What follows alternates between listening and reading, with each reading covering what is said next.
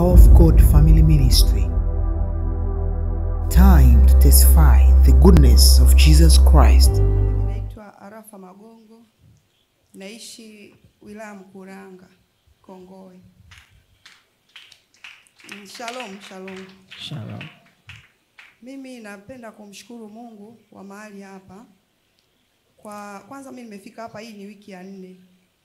Nilikuwa kwenye kanisa kubwa miaka kama kumi nane. Kwa hiyo kwa kweli nilikuwa naabudu, lakini sijawahi kuona nimepata amani au nimepata kitu ambacho kilikuwa kinanisumbua katika maisha yangu, labda nikakipata kwa wepesi au nikakishuhudia kama hivi hapa ninavyoshuhudia Yeah. lakini nashangaa Mungu wa mahali hapa. Tangu nime, nimekuja siku ile ya kwanza, kwanza kitu kikubwa kilikuwa kinaniuma, mtoto wangu, watoto wangu hawana kazi.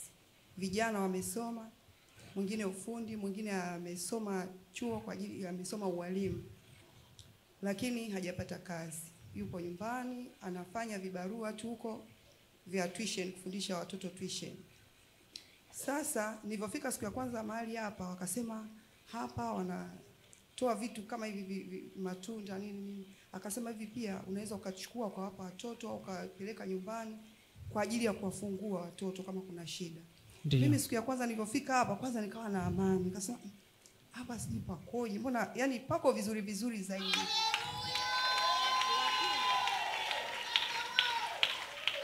kabla kabla sijashuhudia kile ambacho nimetaka kusema, hapa pana upendo, tunda la Roho lipo, na ndio maana unakuta shuhuda zipo pia. Kila mtu ambaye anafika hapa hakika atashuhudia, hata kama anachelewa juu atashuhudia. Kwa hiyo mimi nilipofika hapa, kiu yangu kubwa watoto wangu wapate kazi, pamoja na mimi pia nina shida zangu, lakini kiu yangu kubwa watoto wangu wapate kazi. Basi siku ya kwanza nilipopewa epo, nikasema ili epo, yani kila mtoto nyumbani lazima apate. Nikalikatakata vipande vipande, nilipofika nyumbani nikawapa wote, nikavichukua tu wengine nikawapa, vingine nikavikusanya. Sasa yule kijana wangu mkubwa ambaye yeye ndio nilimlenga zaidi, akavila vile vyobakia vyote akala. Akasema he, mimi nilizania nimewekewa mimi tu. Nikamwambia "Ah, na wengine. Basi mimi nikaendelea kuwa naomba. Nikaja hapa siku ya pili, wiki ya pili. Nikawa nimefunga, nikasema leo naomba Mungu unione, uniguse, Mungu wa mahali hapa. Na upendo uliokuwa hapa, najua kwenye upendo kuna kila kitu. Basi Wow, mpigie Bwana. Yesu makofi. Pigie Bwana Yesu makofi. nikawa nimefunga zangu masaa ishirini na nne nikasema leo nafunga masaa ishirini na nne mpaka siku ya, ile jumapili ya ibada niliingia ibada nikiwa nimefunga. Basi nikaondoka. Ndio tukaambiwa tuje na yale majina nikabeba yale majina. Sasa tulipofika hapa nabii akasema jamani wakati huu wa kuomba ombeni usikae chini. Omba omba. Usipoomba yani bure kabisa. Yani mimi sikukaa chini. Nikawa naomba nikawa naomba nikawa naomba nilivyotoka hapa kwa kweli nilikuwa na amani sana Praise God. Mungu asifiwe. Remember today, Kumbuka leo you must be delivered lazima ufunguliwe and eh, your family must be delivered. na familia yako lazima ifunguliwe. Are you ready? Praise God. Do you have those name in your hand? Now God is going to deliver you and them. Say, Father, in the name of Jesus, you know what I carry. I carry your people in my hand. Lord Jesus, be merciful. By the blood of Jesus, I deliver my family. I love my family. I know one thing. You are mine to save. All the name that you brought here, God has touched them. In the mighty name of Jesus.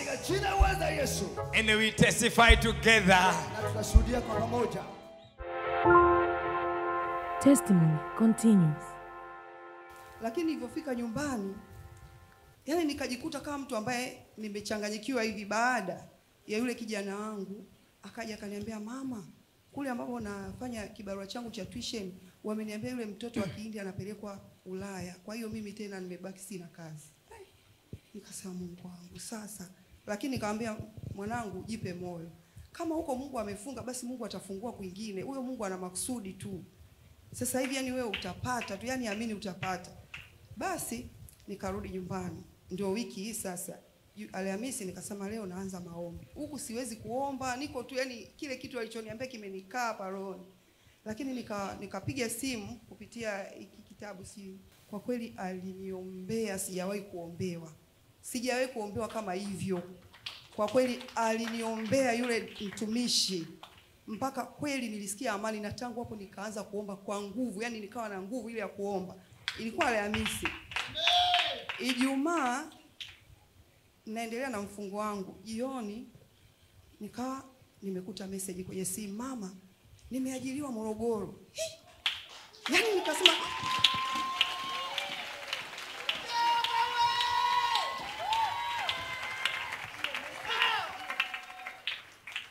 ile message kwa kweli, kwanza niweka simu pembeni, nikasujudu, nikainuka, nikasujudu, nikaanza kutembea nyumba nzima, nasema Yesu asante, Yesu asante, asante Yesu.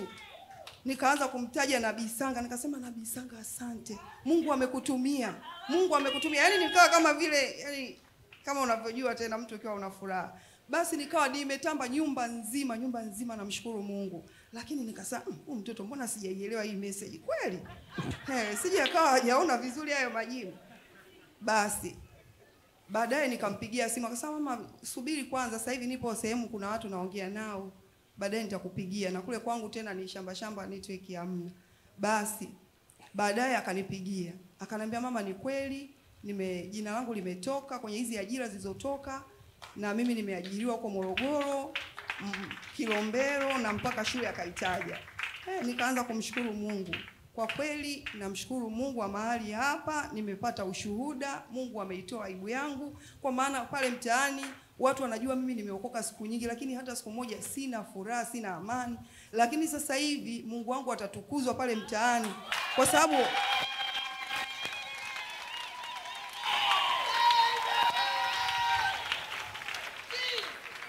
kuna vijana wengi ambao walimaliza nyuma ye chuo, yani wako, nyuma yake walimaliza. wao majina yao hamna, wanahangaika tu, wengine wametulia, wengine wameshaenda shamba, wengine ndio hivyo.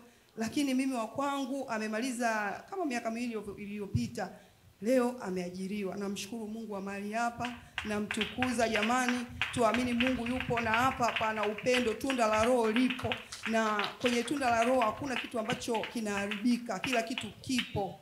Amen. Pige Bwana Yesu makofi. Haleluya, haleluya. Bwana Yesu asifiwe sana. Unatushauri nini? Tuna watoto ambao wamemaliza pengine vyuo, lakini pia hawana kazi. Karibu. Nashukuru. Jambo la kwanza napenda kushauri Wakristo wenzangu. Nimesoma hiki, umesema kiti, kitini. Ndio. Nimesoma hiki tulichopewa wiki iliyopita. Kimesisitiza sana kutulia. Wakristo kutulia. Anasema Wakristo wengi wanahangaika. Mungu hawezi akasema na mtu ambaye anahangaika. Moyo hauna amani. Mtu anahangaika, anafikiria masuala ya mafuta, anafikiria masuala sijui ya sabuni, chumvi, nini. Kwa kweli hata mimi nilikuwa hivyo.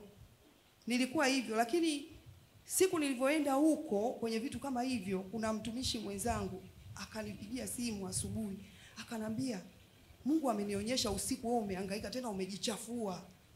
Kuna sehemu umeenda? Nikamwambia eh, kuna sehemu nimeenda. Akasema basi umejichafua huko ulipoenda kupewa sijui maji sijui vitu gani, umejichafua. He, akasema hey, nimekuona katika ndoto upo kwenye nyumba chafu, alafu wewe mwenyewe uka- uka- ukawa umesema hapa nimepanga, ukatoa hela yako ukalipa. Kwa hiyo utakuwa umejichafua. Nikasema mm, hapo hapo nikaanza kutubu, yaani nikawa na kitu hapa kimenishika, nikaanza kutubu, nikatubu, ndio tukaanza sasa kuja hapa, ndio mpaka hivi. Lakini jambo jingine pia nilikuwa nasema siku ile nilivyokuja hapa nabii alivyosema tulete majina, mimi kwa kusema kweli sikuguswa, wala ile karatasi yangu haikuguswa, lakini kuna binti akanambia basi nenda kule mbele ukaguse. Nikasema mimi naamini, kwa sababu yeye alisema hata tukiweka kwenye begi yaani tukiwa tunaomba, kwa kuwa mimi naamini, mimi nimeomba mwanzo mwisho, kwa sababu nilitaka kukaa. Akasema usikae, alikuwa huku, akasema usikae, ukikaa ni bure unachokifanya, omba omba omba. Mimi nikasimama nikaanza kuomba, nikasema kwa jinsi nilivyoomba leo, naamini Mungu ametenda. basi kwa hiyo vile nabii anavyo anavyotu anavyotuelekeza tuwe tunatii tunafata vile anavyosema. Utakuta mtu amekaa tu haombi amekaa tu na karatasi yake labda anasubiri aguswe. Yote kweli yanawezekana lakini lazima tuwe na imani na sisi tuwe na imani. Yani yule ni mtu mmoja. Sisi tuko wengi anaweza kweli akapita asikuguse. Sasa wewe usipoomba itakuwaje? Kwa hiyo tuwe tunatii kile anachotuambia. Tuombe. Amen. Amen, amen. Nashukuru kwamba ametusaidia kutu, kutusemea kwenu kwamba wakati maombi yanaendelea hapa, watumishi wanapokuwa wanaongoza maombi, basi wewe usishangae mwingine au unashangaa hey, wao wanafanyaje wale? Unatakiwa ku, kuomba. Bwana Yesu asifiwe sana. Mama, Mungu akubariki sana, tunakushukuru. Tunza ushuhuda wako, naamini mengi yanakuja.